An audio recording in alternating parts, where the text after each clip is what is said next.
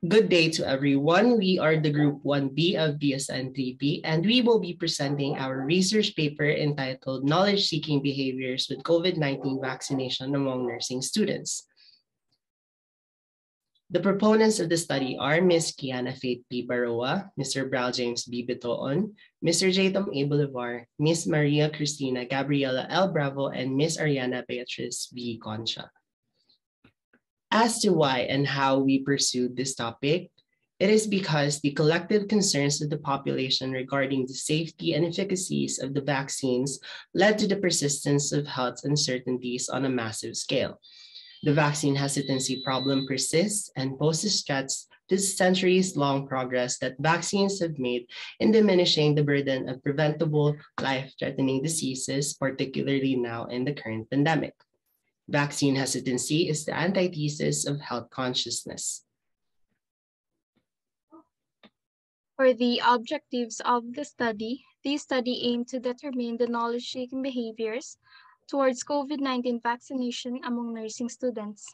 First, what is the demographic profile of the participants when grouped according to age, sex, and socioeconomic status what are the knowledge-seeking behaviors towards COVID-19 vaccination among nursing students in terms of A. Sources of information, B. Behaviors concerning health and prevention, C. Knowledge and awareness, and D. Risk or benefit.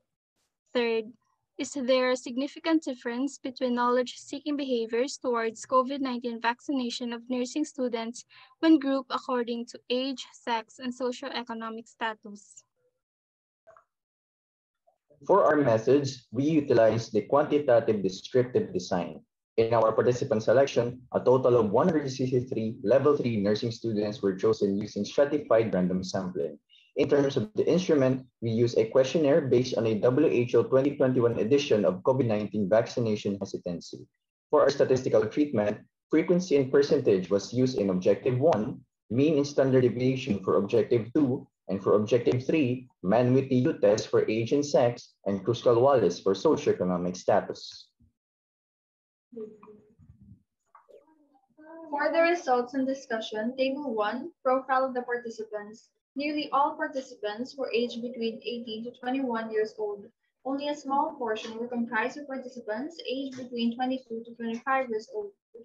Majority of the participants were females in comparison to the males. More than half of the participants belong to the middle class, followed by the upper class, and finally the lower class.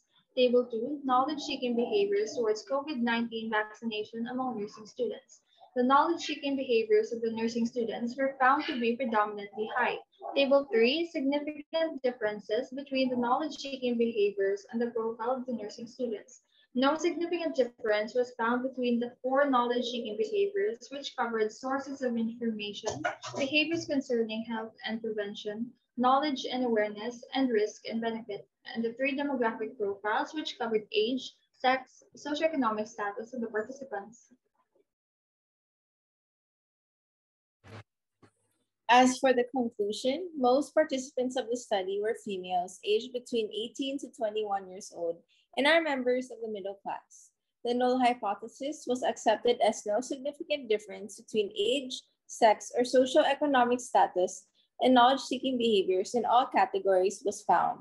It can be concluded that the findings could have changed if the target population was expanded or redirected towards non-medical students.